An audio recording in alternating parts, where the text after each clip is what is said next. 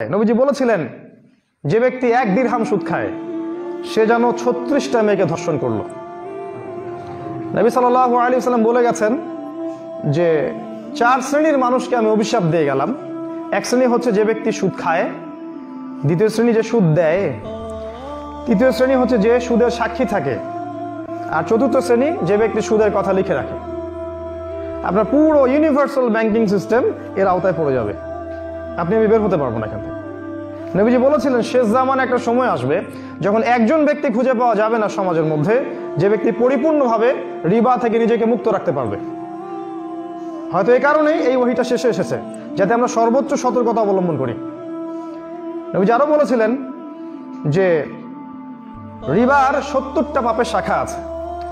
তার মধ্যে সবচেয়ে নিচু স্তরের পাপ হচ্ছে আপন মায়ের সাথে জেনা করা। من الرجا والخوف قلبي طائر.